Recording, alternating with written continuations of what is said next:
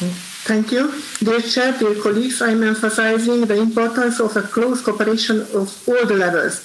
During the pandemic weeks, it was our responsibility to understand the governmental level arrangements in order to avoid the infections and help our villages and citizens to remain safe. That was the key to act accordingly.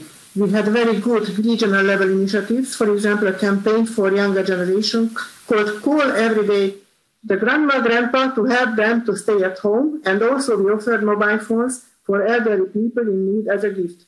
We concentrate also for the youth uh, by organizing a drawing competition for children under 14 about the climate change and sustainability in cooperation uh, of my county and the Assembly of European Regions in frame of an EU uh, program. Just yesterday, we organized an important meeting which with local mayors and state secretaries also in frame of an EU project together with the Assembly of the European region. Counties in Hungary are responsible for the decentralized EU funds, practically for the strategic improvement of the municipalities.